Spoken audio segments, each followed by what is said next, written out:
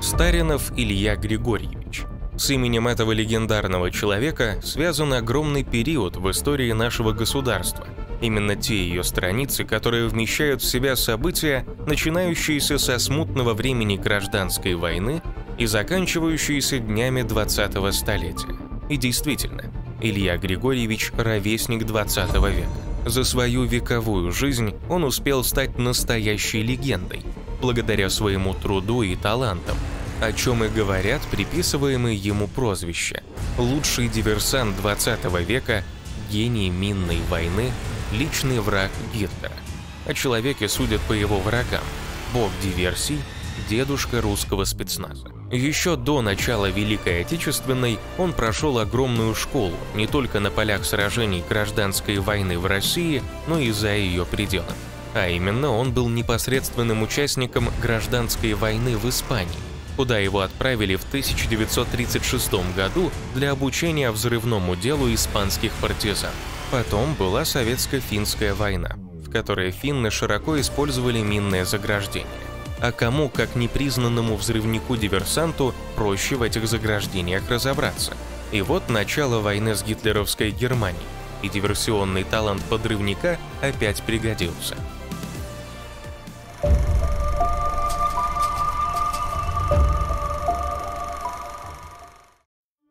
28 июня 1941 года Старинова Илью Григорьевича назначают начальником оперативной группы заграждений Западного фронта. Его знания и умения очень пригодились стране. Он многое сделал для восстановления партизанско-диверсионной базы, основы которой он лично закладывал в начале 1930-х для подготовки специалистов и организации диверсионных операций.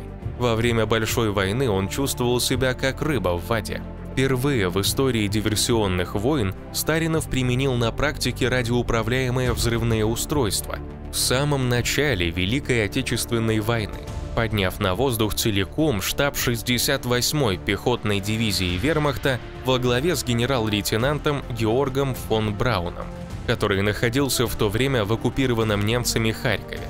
Именно после этой проведенной блестящей операции Гитлер объявил его своим личным врагом и назначил за голову советского диверсанта баснословную сумму – 200 тысяч рейхсмарок.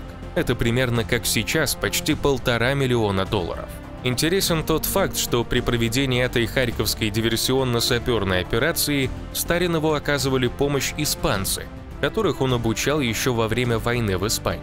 После победы там фашистов они выехали в Советский Союз, работали на заводах Харькова. С началом войны Старинов принял испанцев в инженерные войска, где они прослужили под его командованием до конца войны. За первые два года войны при личном участии Старинова было взорвано более 250 мостов, несколько десятков складов с боеприпасами и горюче-смазочными материалами, пущено под откос более 200 железнодорожных составов. В конце февраля 1942 года диверсанты Старинова во время одного из своих рейдов в тыл противника захватили важные документы, в которых были чертежи разработок ядерного оружия. Так, впервые советское правительство узнало о новом сверхоружии, разработкой которого уже занималась гитлеровская Германия. В августе 1942 года Илья Григорьевич был назначен начальником высшей оперативной школы особого назначения Центрального штаба партизанского движения. Эта школа готовила специалистов и командиров высшего класса, а также планировала операции и испытывала новую диверсионную технику. Выученные Стариновым диверсанты уже в 1943 году уничтожили более трех с половиной тысяч железнодорожных эшелонов врага. В 1944 году Старинов принял руководство по созданию партизанских формирований и подготовке кадров для ведения диверсионной войны за границей. Сколько партизан-диверсантов в годы войны было подготовлено Стариновым, трудно подсчитать. По самым скромным оценкам, речь идет о пяти тысячах человек. Ученики Старинова, среди которых были не только советские граждане, но и испанцы, югославы, поляки, становились героями, генералами, а про их учителя, все так же носившего погоны полковника, знал лишь узкий круг посвященных.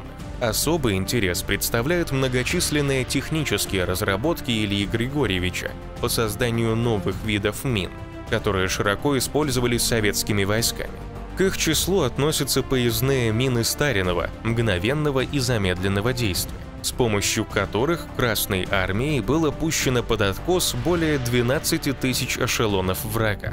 Закончил войну полковник Старинов в Германии, где занимался разминированием автомобильных и железных дорог.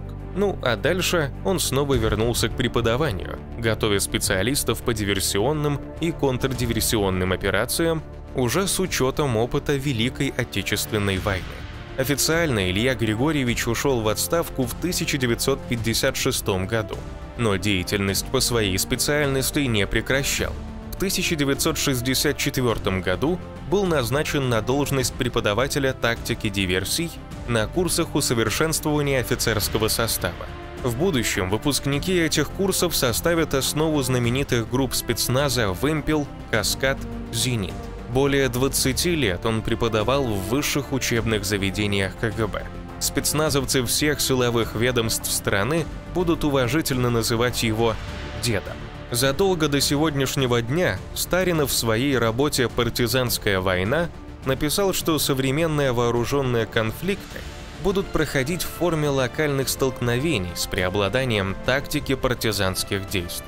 Во время первой чеченской кампании Старинов, которому было уже за 90 лет, резко критиковал действия федеральных сил – обращая внимание, что против террористов не используются те наработки, которые были созданы за несколько десятилетий. Только посвященные знали, что дед буквально до мелочей прорабатывал планы разгрома банд Хаттаба, Басаева и Радуева на основе своего собственного опыта.